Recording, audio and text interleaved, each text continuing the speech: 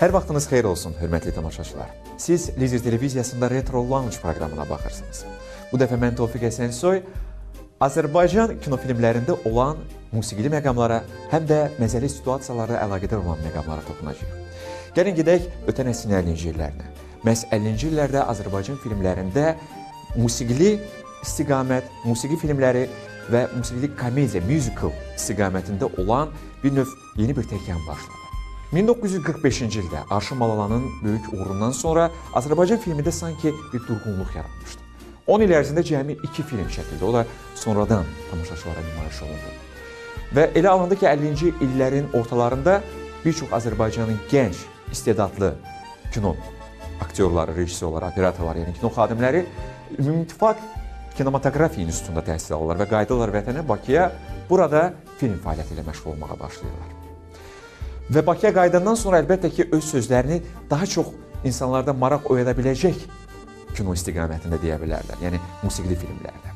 Və beləliklə 1955-ci ildə Azərbaycanda iki populyar musiqili film çəkilir. Harda ki, həm də məzəli, əyləncəli səhnələr də var. Söhbət Bəxtiyar filmindən və eyni zamanda Görüş kino filmindən gedir. Yaxın keçmişdəki musiqili komediya istiqamətində olan uğurları nəzərə alaraq bu iki film uğur qazanır.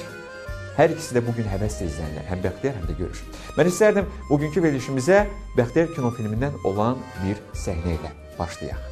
Yəqin ki, Bəxtiyar kino filmində hər kəs mən tək kontrabasda, bax bu musiqiçinin məzəli epizodunu, eyni zamanda Hüseynova bacılarının Babam evlənir mahnısını və yaxud o balet səhnəsi ki var, qazılan quyu ilə bağlı olan maraqlı epizodu xatırlayırlar.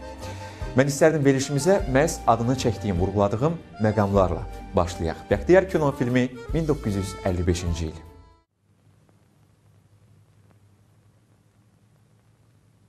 Öz faaliyet derneğimizin nümayişine başlayırıq. Çıxış edir Dəllək Mehdi Kazımov. Solo kontrabasta. Geçin sahneye. Piyanino da kim çalacak? Rıza, Hani Rıza? Mehmet, hani Rıza? Ahtarı değiller akrabaçıların dalınca git. Rıza kimin qohumun başına taş düşeydi. Ha ha. Keçin Salis, çalın. Necə? Mən tək, kontrabasta. Hə, Bana yeri. Yeri de. yeri, hə.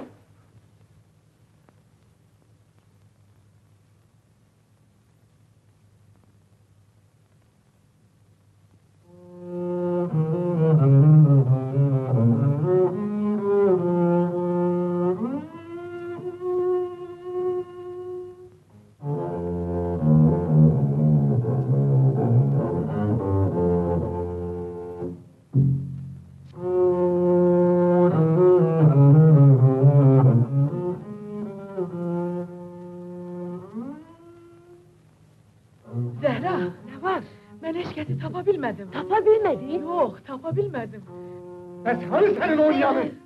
Hani senin bakyanın? Gelecekler ağa bala. Vallahi gelecekler. Söz verimlerim.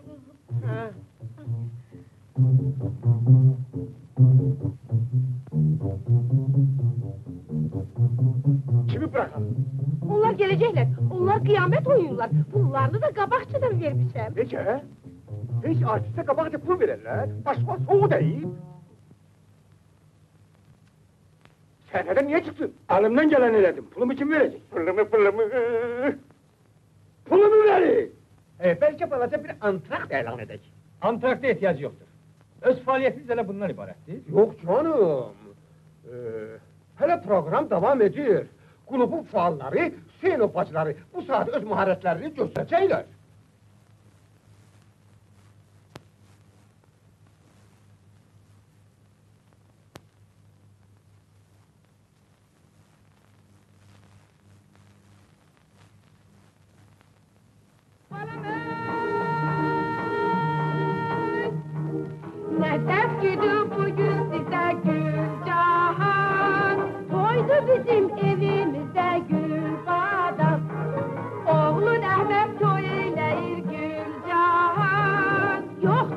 Babam evlenir Gülbadam. Baban evlenir, babam evlenir. 90 yaş yaşında? 90 yaşında. Doğrudan evlenir. Canı için evlenir. Gelin de oynayaq, çalıp hem okuyaq. Gelin de oynayaq, çalıp hem okuyaq. Gelin de oynayaq, çalıp hem okuyaq.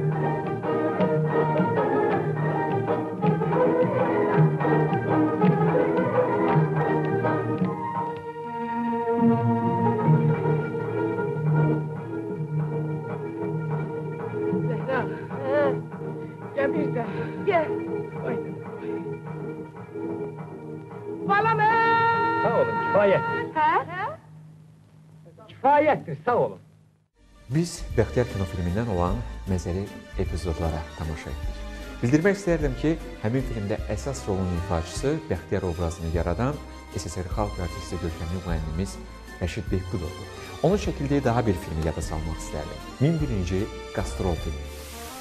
Sözü gedən film olduqca maraqlıdır və həmin filmdə də musiqili səhnələr olduqca bolluq təşkil edir və demək istərdim ki, bu mahnı teatrının e, yaranışından bəri maraqlı əhvalatlarla dolu olan bir növ kino hekayədir.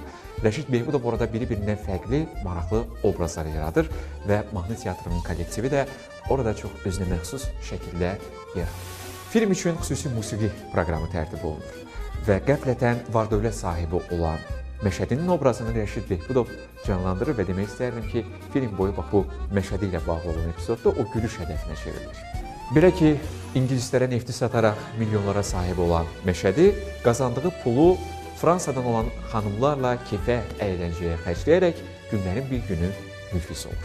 Bax, həmin səhnəni, həmin tragikomik təsviri gözəl mahnının müşayiəti ilə 1001-ci qastrol filmindən izləyirik.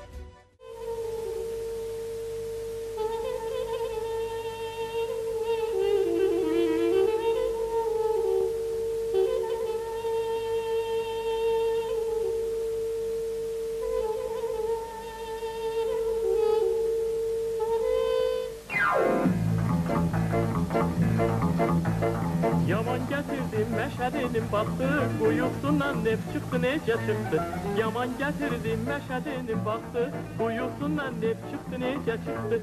Mollalığım Mirzeli'yi tez attı İngiliz'e vagon vagon nef sattı? İngiliz'e vagon vagon nef sattı? Patondan kızıl geldi ne Meşhedi bir günde on tut kökeldi kökeldi Dedi gidin bir avtomobil alın. Binip gezip dünyaya nezer salım Binip gezip dünyaya nezer salım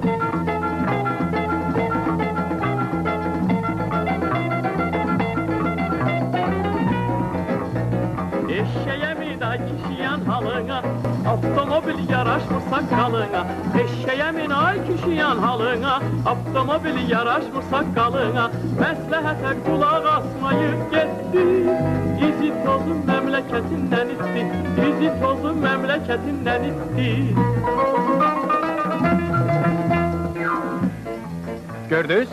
Dedim getme. Kulak asma. Ay meşedi.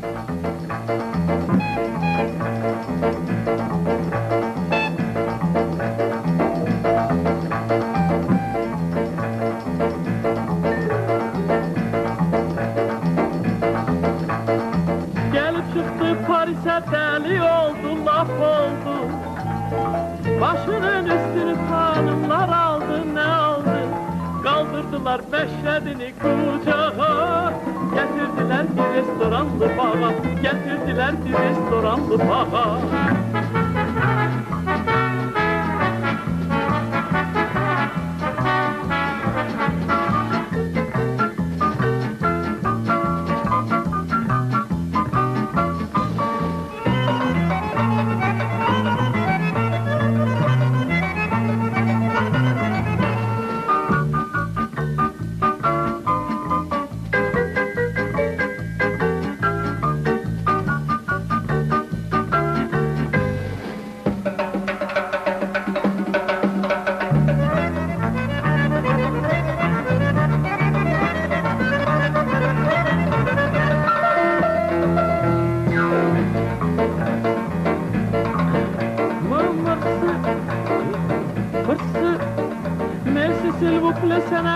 kurban dedi ne dedi?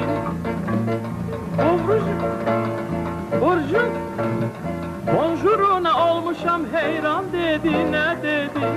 Kurban olsun sana var yokumada. Kurban olsun sana rahmet yatam Kurban olsun sana rahmet yatam Kızılları kurtar diye baş yavaş Kuruyup da kaldı bu koca külbaş. Kızılları kurtar diye baş yavaş Kuruyup da kaldı bu koca külbaş. Tanış ses birden kulağına Məşədi hay verdi uzun qulağına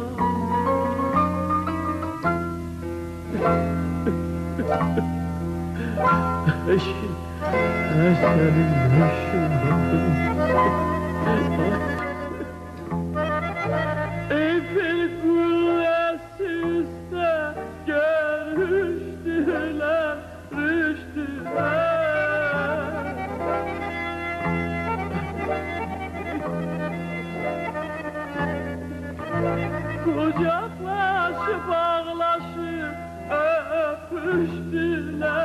Küste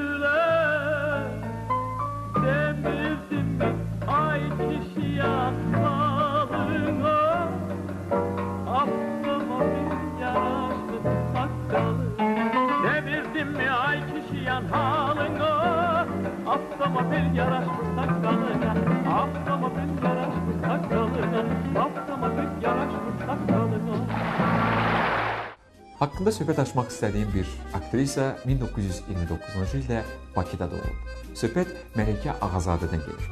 O uşaqlığında pionerlər evində xoreografiya ilə məşğul olub, ardınca musiqi ilə məşğul olub və məktəbi bitirdikdən sonra Asiya Finali adında musiqi texnikumunun opera sinfinə daxil olur. Həm gözəl aktrisalıq qabiliyyəti ilə, həm də ifası ilə, müğənnilik fəaliyyəti ilə diqqəti cəlb edən Məlikə Ağazadə bir müddət Rauf Hacıyevin rəhbərlik etdiyi estrada orkestrində solist kimi də çalışıb. 1956-1963-cü illərdə musiqili komediya teatrında rol aldığı 40-a yaxın tamaşa ilə yadda qalıb. 1972-ci ilə qədər isə Məlikə xanım bir-birindən parlaq obrazları kinofilmlərdə yaradıb. Yadıma düşən obrazlarından biri indi izləyəcəyimiz Ulduz kinofilmindəki ən parlaq və bu gün də həvəslə izlənilən Nazik obrazı.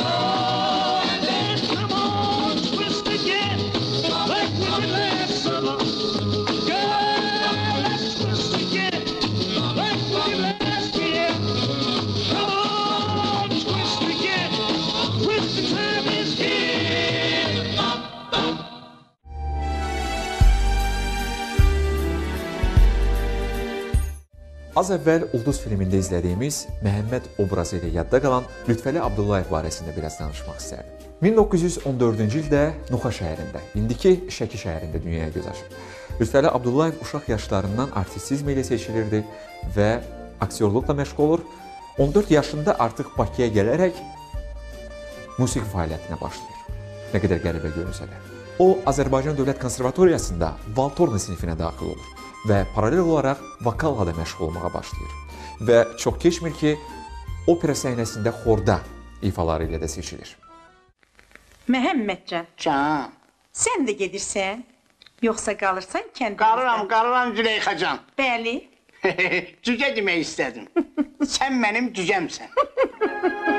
Sən mənim fərəmsən. Züleyxa. Bəli. Mən bilirəm sənin kimi yoldaş tapmaq çətindir. Məhəmmədin yoldaşlığı əzmlidir, mətindir. Biz dost olaq axıracan, axıracan bir olaq. Həyatda bir yol götürək, əməkdə əl bir olaq. Adın nədir? Züleyxa.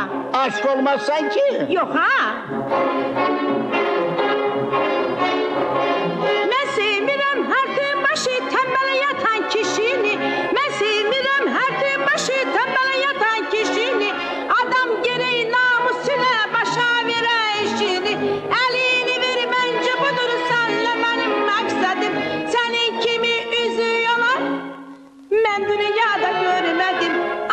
Nədir? Məhəmməd. Söz mü sözdür? Əlbət.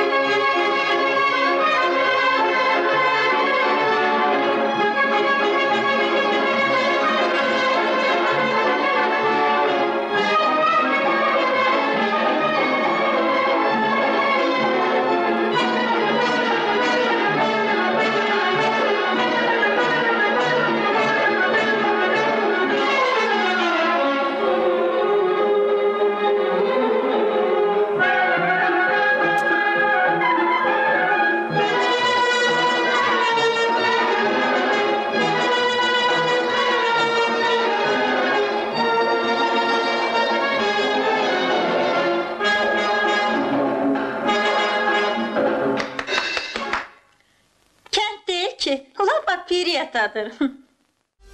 Hamımızın sevərək izlədiyi, hələ də aktuallığını itirməyən bir komediya filmimiz yadıma düşdü. 1963-cü ildə çəkilən Əhməd Haradadır kinofilmi.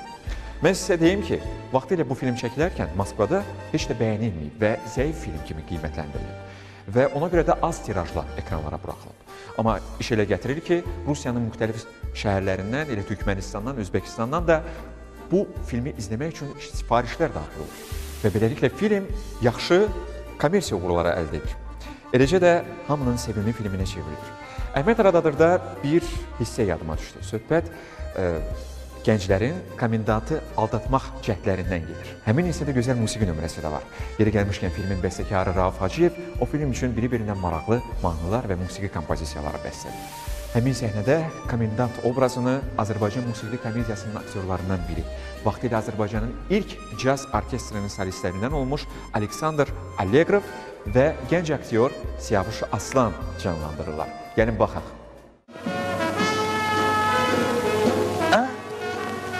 Ben onun başını karıştırırım ama siz tez geçin.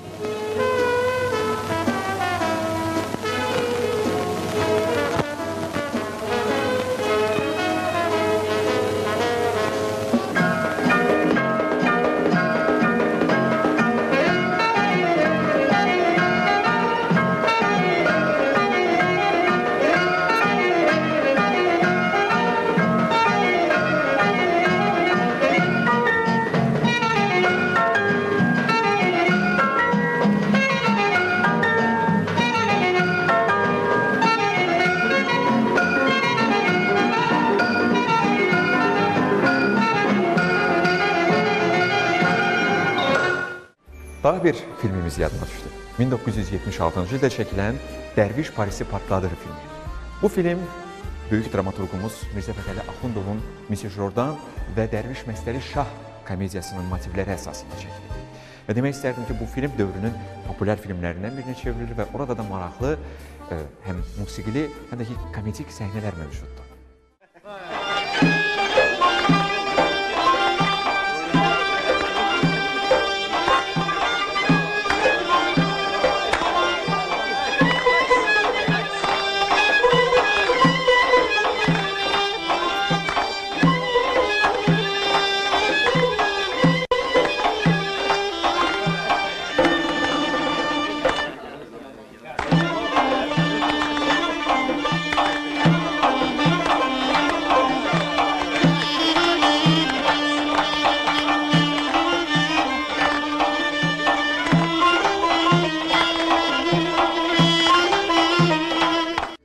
Filmin musiqisini Tofiq Quliyev bəstələyib. Və demək istərdim ki, orada ən məşhur məzəli epizodlardan biri Mirzə Babayev, gözəl aktyorumuz və həm də müğənnimizin yaratdığı obrazla bağlıdır. Söhbət elə dərviş obrazından gedir ki, əslində onun ifa etdiyi mahnı, hansı ki biz indi izləyəcəyik, o mahnı filmin ssenarisində nəzərdə tutulmuyor. Ayrıca olaraq Tofiq Quliyev həmin filmdə Mirzə Babayev üçün məhz sözü gedən mahnını bəstələyir. Mən bir köhnə dərvişəm, cəhənnəmdən gəlmişəm və Mirzə Babayevin artistizmi, səsi bu filmə ayrıca bir rəng qatır. Cəmaat, Allah Taala sizdən çox razı olsun. Mən də sizdən çox razı oldum. Günləriniz xoş, xürrəm olsun. Xuda hafiz.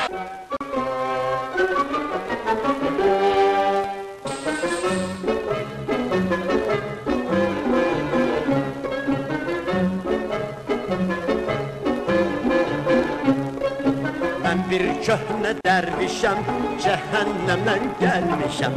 Mən bir köhnə dərvişəm, cəhənnəmdən gəlmişəm. Zamanəni dolayı barmağıma sərmişəm.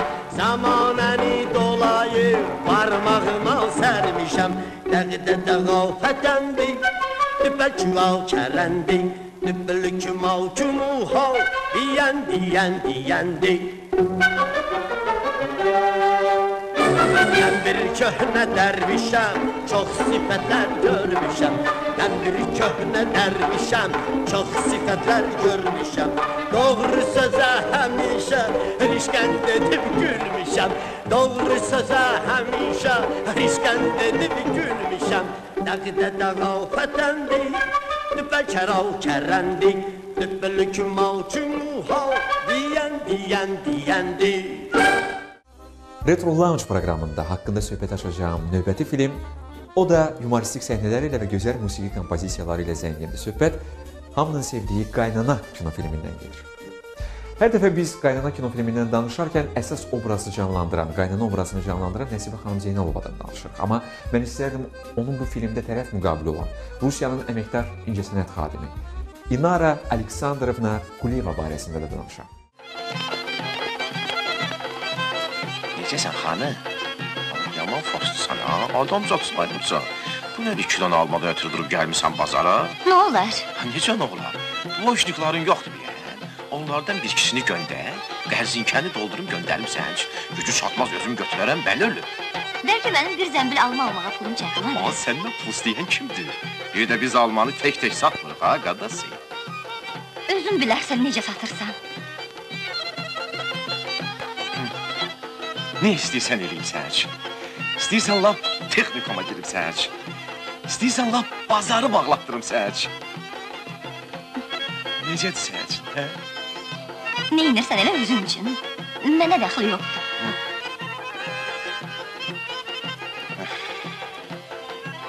Sən elə bilmirsən mənim əlimdən nələr gəlir. Elə bilirsən məndən yaxşısın tapacaqsan? Ay tapdın ha. Mına bax. İstəyirsən texnikuma girim sənin üçün. Əl yağa dolaş mənə. Hə. İnara Kuliyeva 1950-ci ildə Moskvadan anaılıb. 1972-ci ildə Rus Teatral İncəsənət Akademiyasını bitirib. 1978-ci ildə İnara xanım musiqili teatr rejissoru ixtisasına yiyələnir və elə həmin ildə də Qaynana kinofilmində rol oynayır. Söhbət onun Afət rolundan gedir.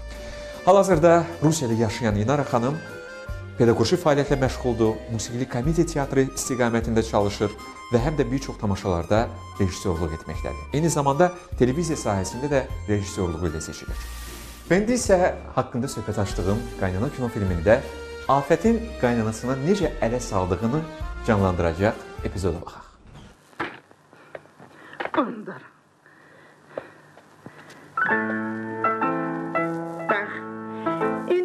başlayacak olamam. Ah, ah.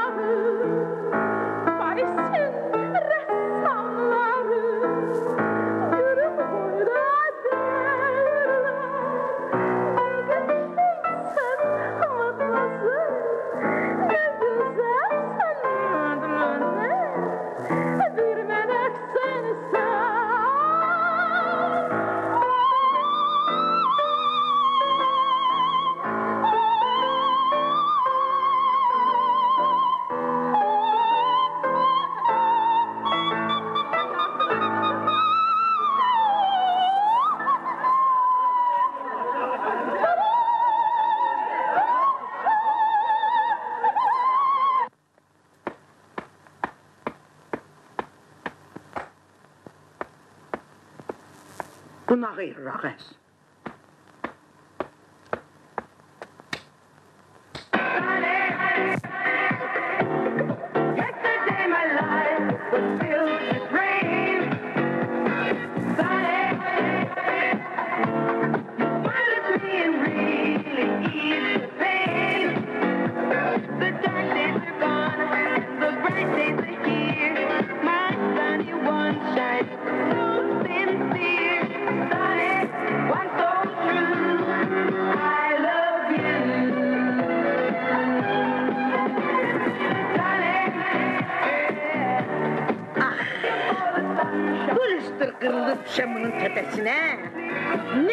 من کم Charlie.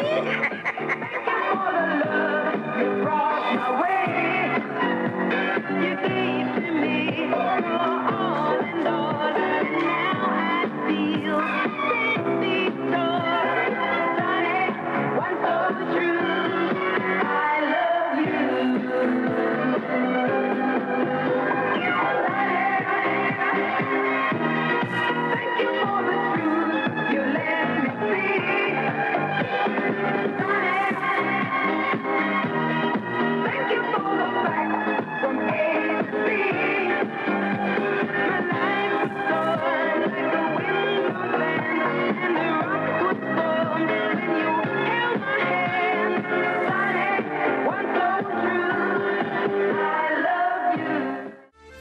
1985-ci ildə tamaşaçılara daha bir film təqdim olunur. Həm komediya xarakteri, həm də mənəvi psixoloji səciyyə daşıyan bir film. Cin mikrorayonda filmi. Bu filmdə əsas ideya insanları arzulamağa, öz məqsədlərinə doğru irəliləməyə yönüb çağırışdır. Yəni insan sadəcə yerində oturmamalıdır, daima işləməlidir və uğurlara imza atmalıdır. Cin obrazı isə bir qədər şərti xarakter daşıyır və filmdə elə məqamlar var ki, cin fərqli-fərqli obrazlara girir və insanları təəccübləndirir. Filmdə bir hissə var ki, cin orada cilddən cildə düşür və bir mahnı da ifa edir. Mən istərdim həmin hissəni biz sizə təqdim edək. Musiqisi Rafiq Babayeva məxsus olan və Mübariz Tağıyevin ifa etdiyi bu mahnıda çox məzəli və yumoristik məqamlar da var. Canik. Canik. Canik. Canik. Canik. Canik. Canik. Canik. Canik. Canik. Canik. Canik. Canik. Canik. Canik.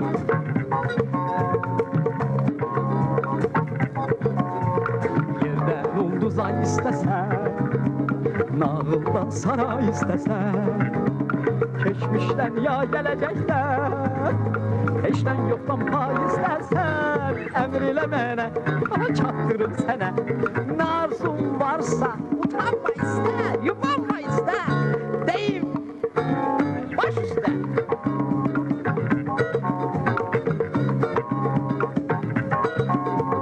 Mühürlenmiş ben istesem Yıkılma yatan istesem Bir sözünle yah uzanan Yah gödelen sevene Şaktırır sene. Nazun varsa utanma iste Yuvanma iste. Deyim baş üste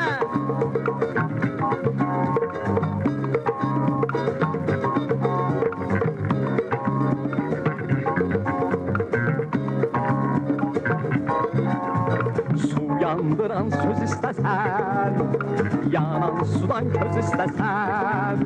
Senin heykeline bakan Milyonlarla göz istesen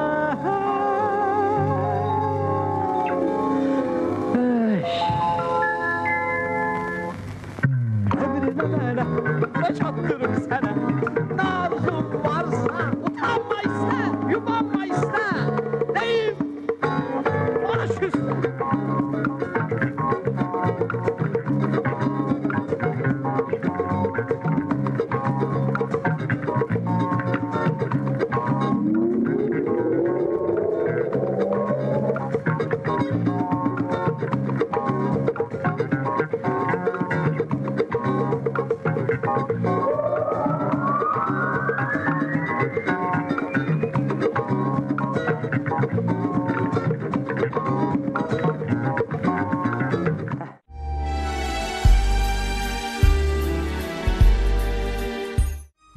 Yumoristik səhnələri ilə, və məzəli epizodları ilə yadda qalan filmlərimizdən daha birisi 1985-ci ildə çəkilən Bəyin Oğurlanması filmi. Orada bir səhnəcik düşdü. Həmin səhnədə bizim məşhur aktyorumuz Yaşar Nuri, görkəmli müğənnimiz həm də aktyorumuz Mirzə Babay və digər aktyorlar elçilik səhnəsində olduqca maraqlı məqamlara toxunurlar. Elə ifadələr səslənir ki, sonradan həmin ifadələr xalqın dilinə düşür və dillər əzbəri olur. Və bu gün də sevərək həmin filmdən o frazaları biz xatırlayırıq. Belə də paltar olar, e? Elə bil ki, Nuh əyyamından qalıb. Hə, bu bizim tariximizdir, e? Hərəsi bir əsrdəndir. İstəməzsiniz ki, ha, siz bu geyimlərdə dünyanın bütün tamaşaçıları görsünlər, bəyənsinlər. Proqrama saxlayın, saxlayın proqrama baxın. Bax tutalım elə sən. Çalma, çalma.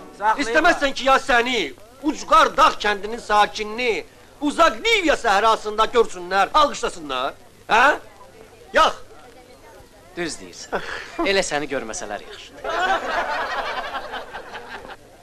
Əsəd müəllim. Salam əleykum. Ay, kef deyə sənin işin vallahi. Ay kişi, səni gah göyə qaldırırlar, gah arabaya mindirirlər. Vəziyyət yaxşıdır deyəsən, hə? Yox. Necə yəni? Nə olub ki? Oynamırlar. Nə təryan oynamırlar, ha? Ay, niyə oynamırsınız? O ışıqları hələlik söndürün. İndi oynarlar.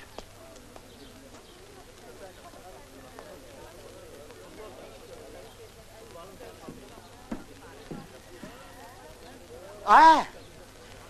Ay Cema! Bu kino ki var, bu çox qəliz məsələdir. Həm qəlizdir, həm də ki vacib.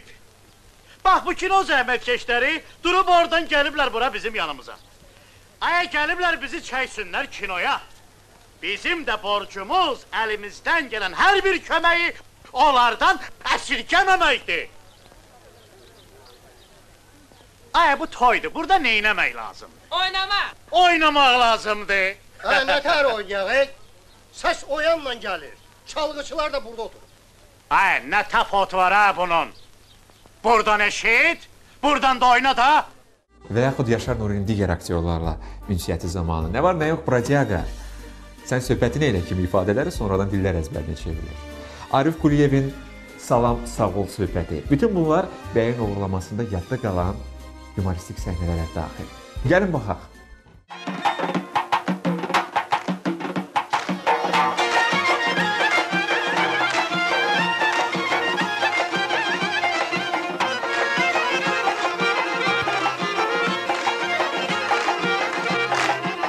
Qismətimmiş qızılı gülün butası Sən olasan doqquz oğul atası Qız evini boyunu büküyü görəndə İncimesin bey evinin kudası İgitlerin yoktu sahibi yerde Bey oğlanın yoktu tayibi yerde Görüme bek doyunu mübarek olsun. Sağ dışına sol dışına borç olsun. Görüme bek doyunu mübarek olsun. Sağ dışına sol dışına borç olsun.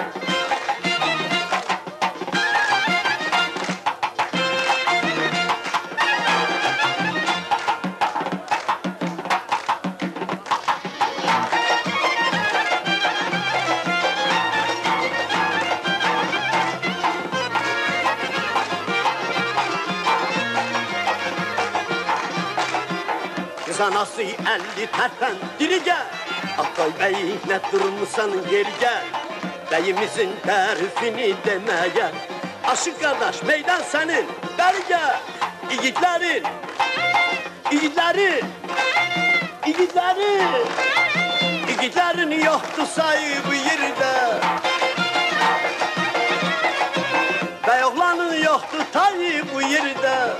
Görüm abek toyunu mübarək olsun. Sağ dışına sol dışına borc olsun. Görüm abek toyunu mübarək olsun. Sağ dışına sol dışına borc olsun. Haqqında söhbət açmaq istədiyim film bugünə qədər də aktuallığını qoruyub saxlayan, humoristik səhnələrlə bol olan, həm də gözəl musiqi kompozisiyaları ilə bol olan Bəxt üzüyü kino filmidir. Bəxt üzüyü kino filmini yada salarkən biz Valeh Kərimovun Moş obrazını və hal-hazırda Amerika Birləşmiş Ştatlarında yaşayan gözəl müğənnimiz Firəngiz Rəhimbəyovanın Seda obrazını xatırlayırıq. Və bu iki obrazın maraqlı səhnəciyi var. Harda ki, Seda Moşunu ələ almaq istəyir, bir otaqda onun üçün bir mahnı ifa edir. Gəlin birlikdə Bəxt üzüyü kinofilmindən izləyək. Asölü. Deryan gül çiçek,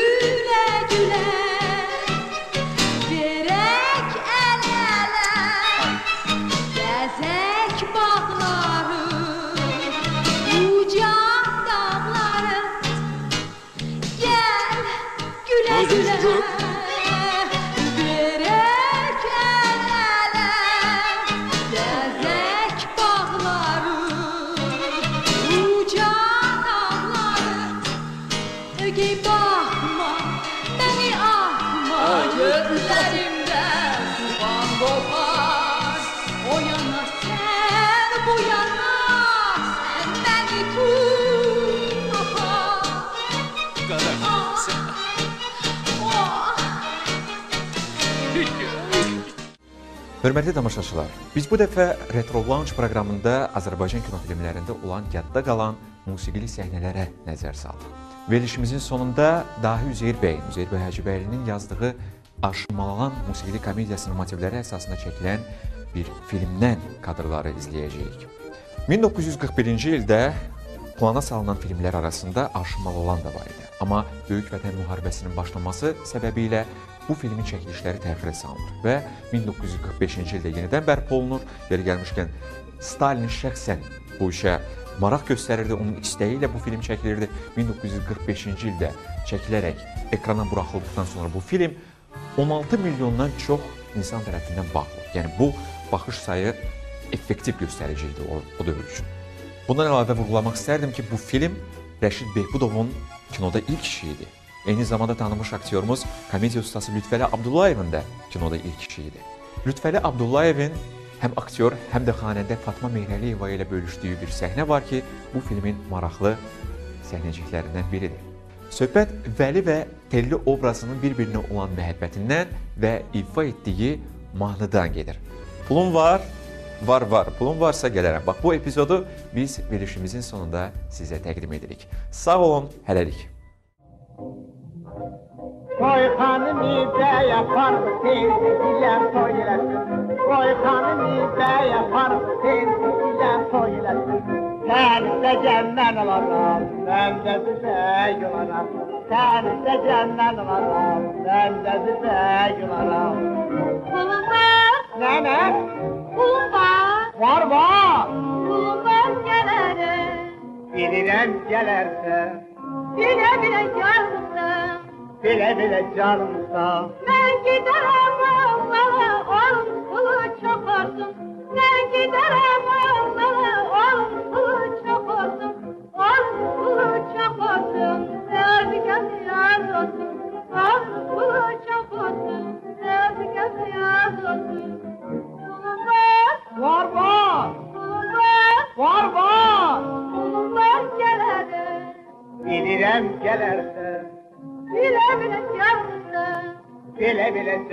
sevda. Korkarım da yaparız, sevdi gider söylerim.